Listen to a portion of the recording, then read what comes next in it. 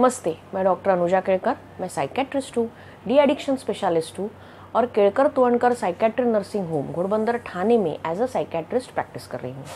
आज हम बात करेंगे एंगर और एंगर मैनेजमेंट पे। एंगर यानी गुस्सा। गुस्सा काफ़ी नॉर्मल चीज़ है और वो किसी को भी आ सकती है। लेकिन एंगर और एग्रेशन में फ़र्क होता है। अगर गुस्सा हमें आ रहा है तो ठीक है वो हानिकारक नहीं है। लेकिन अगर बार बार गुस्से का आउटबर्स्ट हो रहा है वो लिमिट के बाहर जा रहा है तो वो हानिकारक है। जनरली क्या होता है कि गुस्से की वजह से आ, हमारे लाइफ पे हमारे ब्रेन पे हमारे शरीर पे उसका बहुत बुरा असर पड़ता है। अब गुस्से के क्या क्या कॉजेज है किसकी वजह से हमें एंगर आता है? तो एक हेरिडिटी उसमें से है। काफ़ी लोग जो आते हैं वो बोलते हैं कि हमारे घर में गुस्सा ना सभी को आता है। चाचा को आता है दादाजी को आता है पापा को आता है या भैया को आता है तो हमारे घर में गुस्सा ये बहुत कॉमन है। तो ऐसे हेरिडिटी भी काफ़ी होता है और हमारा इमोशन व्यक्त करने के लिए हम गुस्से का इस्तेमाल करते हैं। जैसे कि अगर आ, किसी ने दुख दिया है या किसी ने दुखी किया है हम दुखी है फ्रस्ट्रेटेड है स्ट्रेस्ड है या फिर किसी ने धोखा दिया है किसी ने नीचा दिखाया है कि, किसी ने बदमाशी की हमारे साथ या हमारा फ़ायदा उठाया तो इसकी वजह से भी हम एंगर एग्रेसिव हो जाते हैं एंग्री हो जाते तो ये है कॉजेस अब क्या होता है कि एंगर की वजह से हमारे शरीर पे इफ़ेक्ट पड़ता है। यानी क्या क्या फिजियोलॉजिकल चेंजेस यानी शारीरिक बदलाव क्या होते हैं? एक तो एड्रिनल नाम का केमिकल है, वो रिलीज़ होता है ब्लड में। उस उसका सिक्रीशन बढ़ जाता है। उसके साथ हार्ट रेट बढ़ता है बीपी बढ़ जाता है और मसल्स टाइट हो जाती है पूरे शरीर की।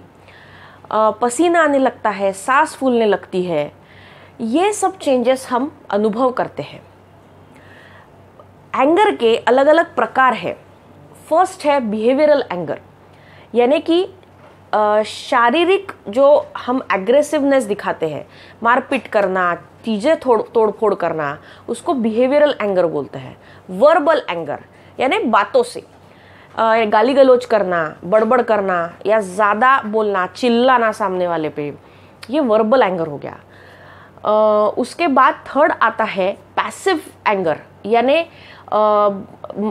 चीज़ें तोड़फोड़ नहीं करना गाली गलोच नहीं करना, लेकिन कुछ कमेंट पास करना, सामने वाले को नीचा दिखाना, जिससे कि वो हर्ट हो और हमारा गुस्सा बाहर निकले। उसको बोलते हैं पैसिव एंगर चौथा है सेल्फ इन्फ्लिक्टेड एंगर यानी खुद को तकलीफ़ पहुंचाना, खुद को मारना या खुद को ऐसी चोट देना कि जिससे वो एंगर बाहर निकले। और लास्ट वाला है क्रॉनिक एंगर यानी बात बात पे गुस्सा करना बात बात पे चिड़चिड़ापन करना, और बहुत सालों से ये चल रहा है। तो ऐसे अलग अलग प्रकार के एंगर हैं। अब इसमें काफ़ी गैर गलत फहमी लोगों के मन में है। जैसे कि फ़र्स्ट गुस्सा आता है तो उसे बाहर निकालना चाहिए, इसलिए हम एग्रेसिव होते हैं यानी हम वेंट आउट हो जाते हैं, हमारा दिमाग फ्री हो जाता है, हमारा शरीर फ्री हो जाता है। तो ऐसा कुछ नहीं है कि गुस्सा हाँ आपने जताना ज़रूरी है, लेकिन ये ज़रूरी नहीं है कि आप एग्रेसिव हो उसके लिए। आप ज़रूर, ज़रूर जता सकते हैं उस चीज़ को। दूसरा यानी कि हम गुस्सा करते हैं क्योंकि हम डोमिनेट कर सकते हैं, सामने वाले को हम कंट्रोल में ला सकते हैं, उस पर प्रभाव डाल सकते हैं। तो ऐसा भी नहीं है। गुस्सा करना उसके लिए ज़रूरी नहीं है कि सामने वाले को आपको इम्प्रेस करना है। तीसरा, कि गुस्सा करना हमारे हाथ में नहीं है। हमको गुस्सा आता है और हम वो दिखाते हैं, वो जताते हैं। लेकिन नहीं, गुस्सा कंट्रोल करना बहुत ज़रूरी है। वो कैसे करना है, उसकी क्या टेक्निक्स है? और अगर नहीं कंट्रोल किया तो क्या तकलीफ़ें हमको सहन करनी पड़ती है? ये मैं आपको नेक्स्ट वीडियो में बताऊँगी। ये आपको वीडियो अच्छा लगा हो तो आप लाइक कीजिए शेयर कीजिए सब्सक्राइब कीजिए और ज़्यादा से ज़्यादा लोगों तक पहुँचाने के लिए हमारी मदद कीजिए। धन्यवाद।